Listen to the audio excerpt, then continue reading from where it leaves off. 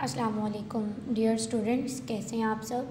आइए, आज हम डिस्कस करते हैं अपना बायोलॉजी का चैप्टर नंबर वन, जिसमें हमने डिस्कस कर चुके हैं ब्रांडवियन and branches relationship of science with other biology with other science हमने उसके बाद डिस्कस किए करियर्स और फिर हमने पढ़ा कुरान एंड बायोलॉजी आज जो हम पढ़ेंगे, वो हम मुस्लिम साइंटिस्ट के बारे में पढ़ेंगे।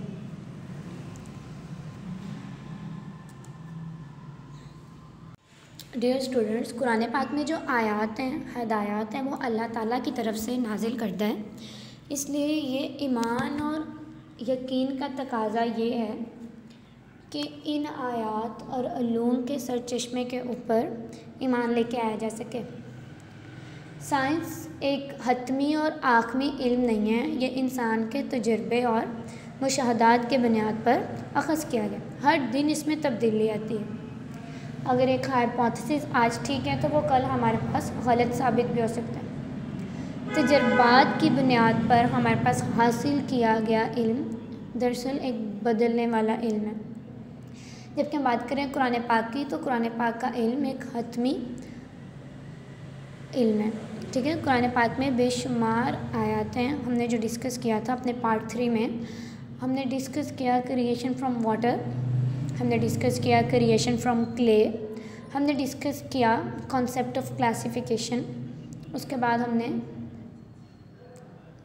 स्टेप ऑफ़ क्रिएशन की बात की, ठीक है?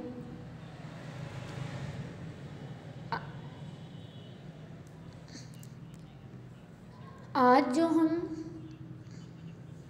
पढ़ेंगे वो है हमारे पास मुस्लिम साइंटिस्ट के बारे में। मुस्लिम हमारे पास अगर हिस्ट्री का मुताला किया जाए, ये एक इंटरेस्टिंग सब्जेक्ट ये दिलचस्पी से भरपूर मौजू है, ठीक है?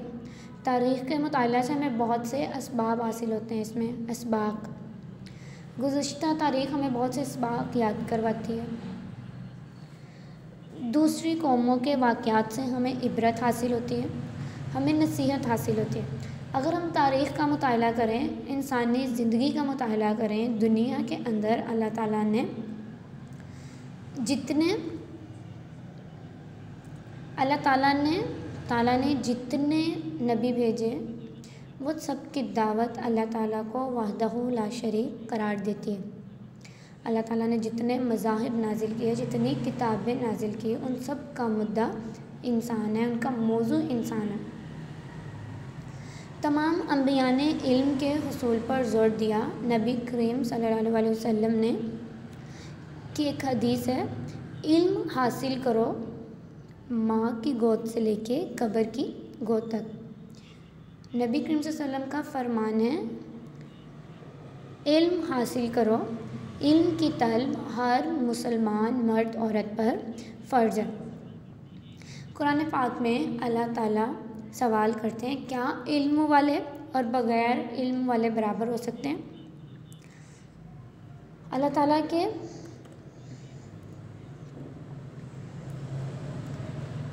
सल्लल्लाहु अलैहि वसल्लम का फरमान है,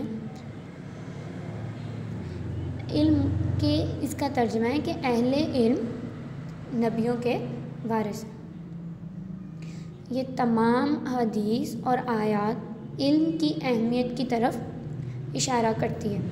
अगर सहाबा की सीरत को पढ़ा जाए, कुरान पाक की तालीम की जाए, उसका हमारे पास हल यही है कि इल्म हासिल किया जाए। दुनियावी और आखरत का इल्म हमारे लिए बहुत ज़रूरी है। हम इस दुनिया में रहने के लिए हमें समझना है, हमें ये सीखना है कि दुनिया में गुज़र बसर कैसे करना और अल्लाह की रज़ा और खुशनुदी कैसे हासिल करनी है? दुनिया के तमाम अलूम का सरचश्मा मंबा हमारे पास कुरान मजीद है।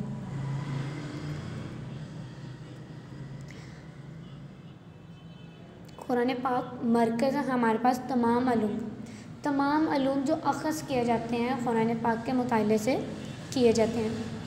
वो सारी बातें, वो सब हकीकत जो चौदह सौ साल पहले इंसान के इल्म में नहीं थे, जिनसे इंसान इंसान नावाकिफ़ था, वो कुरान पाक के अंदर अल्लाह ताला ने आयातें।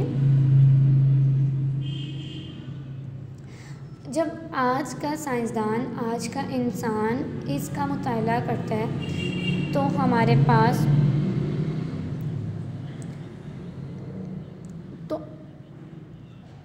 हकीकत की तलाश उस इंसान को मजबूर कर देती है कि वो इस्लाम कबूल करे। इसी वजह से आज सबसे ज़्यादा दुनिया में ज़्यादा फैला हुआ मज़हब हमारे पास इस्लाम है। जब तक मुसलमान अल्लाह ताला के नबी के सीरत नबी पर अमल करते रहे, कुरान पाक के अहकाम पर पैरा रहे, उस पर साबित कदम रहे तो उन्होंने कामयाबी हासिल की।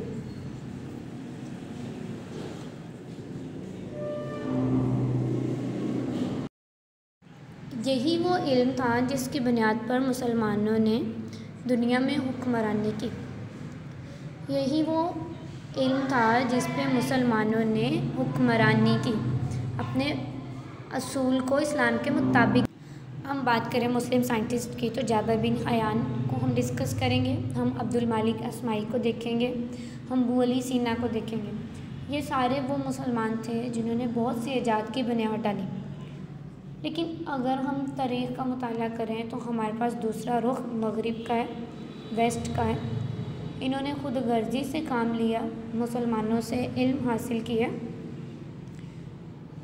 मुसलमानों से हासिल करदा आलूम पर अपनी मोहर लगा दी। अगर हम तारीख़ का मताल करते हैं तो हमें मुसलमान साइंसदान के नाम बहुत कम दिखाई देते हैं। लेकिन वो मुसलमान ही थे जिन्होंने दुनिया में अमली तौर पर काम किया। इलामा इकबाल के अशार इस हवाले से इस हकीकत की तर्जमानी करते हैं। मगर वो इल्म के मोती किताबें अपने आबा की, जो देखें इनको यूरोप में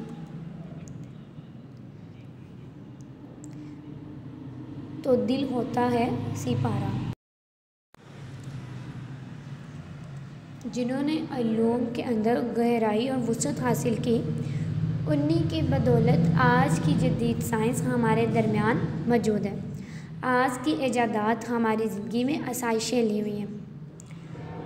इसी तारीख के पेश नज़र आज हम डिस्कस करेंगे कुछ मुसलमान साइंसदानों को और उनके कारनामों को। आइए देखें, सबसे पहले हम डिस्क करते हैं जाबर बिन हयान को। जाबर बिन हयान हमारे पास उन मुसलमान साइंसदानों में से एक हैं, जिन्होंने बायोलॉजी में बहुत खदमात सर अंजाम दिए। इनकी तारीख 721 से लेके 815 तक एडी एडी का मतलब है after the death of Christ ईसा इस्लाम की के इतने साल बाद, ठीक है? ये ईसवी कैलेंडर के मुताबिक है। यह हमारे पास एम सी क्यू पॉइंट के लिए इंपॉर्टेंट है ऑब्जेक्टिव टाइप क्वेश्चन के लिए इंपॉर्टेंट है। जाबर बिन हयान जो पैदाइश का है, वो इनका ईरान में ये पैदा हुए और इन्होंने अद्वियात की प्रैक्टिस इराक़ में की। इन दोनों इन्फॉर्मेशन नहीं करने हैं। पैदाइश कहाँ पे हुई? ईरान में। प्रैक्टिस कहाँ पे की उन्होंने? इराक़ में उन्होंने प्रैक्टिस की। एक्सपेरिमेंटल इन्वेस्टिगेशन इन्होंने तजर्बात के ज़रिए तहकीक की। किन्होंने, मुतारफ़ किन्होंने करवाया था? जाबी बिन हयान ने। सल्फ्यूरिक एसिड को डिस्कवर किया था। जाबिर बिन हयान की मज़ीद क्या खिदमत हैं वो हम आगे डिस्कस करते हैं। इन्होंने एनिमल और प्लांट्स पे किताबें लिखी, जानवरों और पौधों पर कुछ किताबें लिखी। जो मशहूर दो कुतब हैं वो अलनबातात और अल हैवान अलनबातात हमारे पास पौधों से रिलेटेड है और अलहमान में जानवरों से रिलेटेड। ये एम में पूछ सकते हैं, ये हमारे पास शॉर्ट क्वेश्चन में पूछ सकते हैं, कौन सी दो किताबें थी? ये हमारे पास इनका पैदा कहाँ हुए और इन्होंने मेडिसिन की प्रैक्टिस कहाँ पे की? अब जो हम डिस्कस करने लगे हैं, दूसरे मुसलमान साइंसदान को मतलब दूसरे साइंटिस्ट को, लेकिन ये पहले मुसलमान साइंसदान थे जिन्होंने जानवरों की डिटेल स्टडी ये हैं अब्दुल मालिक असमाई। ठीक है? अब इनों की मशहूर किताबें हैं, अलहाबिल, अब अलखैल, अलवहूश और खलाकल इंसान। अगर हम अल आबिल की बात करें तो आबिल जो है, कैमल को कहते हैं। अल खैल, हॉर्स को कहा जाता है। अलवहूश एनिमल को कहा जाता है। खलाक अल इंसान, इंसानों की पैदाइश। क्रिएशन ऑफ़ एनिमल कैमल जो हमारे पास ऊँट है, हॉर्स हमारे पास घोड़े को कहते हैं, एनिमल जानवरों को। उसके बाद देखें तो इनके ये पैदाइश का सेवन फोर्टी से लेके eight twenty eight after death AD ठीक है? ये हमारे पास इंपॉर्टेंट एम हैं, वो डिफरेंट बुक्स के नेम लिख सकते हैं और कह सकते हैं। पॉइंट आउट करें, अब्दुल मालिक, असमाई की कौन सी है? हमारे पास जाबर बिन हयान की कौन सी है? उनका लाइफ स्पेन क्या है? हमारे पास उनकी फ़ेमस बुक कौन सी हैं? और पहले मुसलमान साइंसदान कौन थे जिन्होंने एनिमल्स की डिटेल में स्टडी की? अगर हम बोली सीना की बात करें तो ये हमारे पास इनका जो लाइफ स्पैन है, नाइन एटी से वन ज़ीरो थ्री सेवन मतलब थाउज़ेंड थर्टी सेवन एटी है। इन्हें फाउंडर ऑफ़ मेडिसिन भी कहा जाता है। मगरिब में इन्हें एविसीना के नाम से जाना जाता है। आज भी इनकी बुक्स यूरोपियन ममालिक की डिफरेंट यूनिवर्सिटीज़ में पढ़ाई जाती हैं। ये हमारे पास फिजिशियन थे फिलोसफर थे एस्ट्रोनॉमर्स थे और पॉइट्स भी थे, ठीक है? हमारे पास फ़िलासफ़र फ़लसफ़ा दान को कहा जाता है एस्ट्रोनमर हम, और पोइट्स हम शायर को कहते हैं। अगर हम इसकी फर्दर्स डिटेल देखें तो हमारे पास कुछ ऐसी बुक्स हैं जो इनकी मशहूर किताब है, जिसका नाम है अल कानून फिल तिब। अल कानून फिल तिब का मतलब है canon of medicine in west, कानून, तिब के कानून। ये हमारे पास फिजिशियन भी थे, फिलोसफर भी थे, एस्ट्रोनॉमर्स भी थे और पोइट भी थे। अब हमारे पास जिसमें जो क्वेश्चन पूछा जाता है, वो पूछा जाता है कि फ़ेमस बुक कौन सी थी? अलकनून फिल तिब बू अली सेना की इस किताब को यूरोप में कैनन ऑफ़ मेडिसिन कहा जाता है। ये हमारे पास इंपॉर्टेंट इन्फॉर्मेशन है। ऑब्जेक्टिव टाइप क्वेश्चन में पूछ सकती है। डियर स्टूडेंट्स आज जो हमने डिस्कस किया मुसलमान साइंसदानों को, उनकी लाइफ स्पैन को डिस्कस किया, उनकी किताबों को डिस्कस किया, हमने उनके डिफरेंट डिटेल्स को डिस्कस किया। ये हमारे पास सब्जेक्टिव टाइप के लिए भी बहुत ही इंपॉर्टेंट है ऑब्जेक्टिव प्लस सब्जेक्ट इसमें हमारे पास शॉर्ट क्वेश्चन भी आ जा चुका है और लॉन्ग क्वेश्चन भी इस पर पूछा जा चुका है। इसको आपने short question point of view से और long question point of view से इसको अच्छे से तैयार करना है। आप इसको पॉइंट्स को नोट डाउन कर सकते हैं। अच्छी तरह से आपने इसको मेमोराइज करना है। उम्मीद है आपने आज का लेक्चर अच्छी तरह से समझ लिया होगा और अपने पॉइंट्स को नोट डाउन कर लिया होगा।